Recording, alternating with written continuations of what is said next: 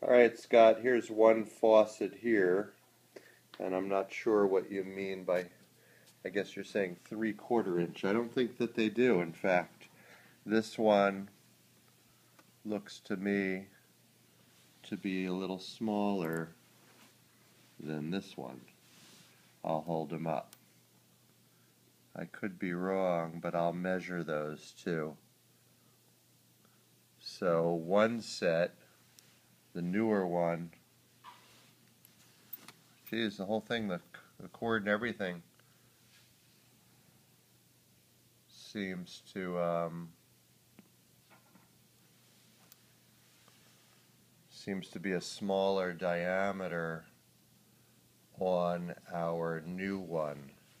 But now that I'm looking at it, the old one has these extenders.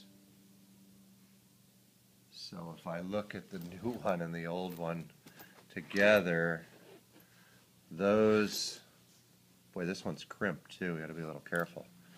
Um, when I'm looking at it now, I just realized that this stuff is on the bottom of the old one, which probably is the three quarter that you're talking about.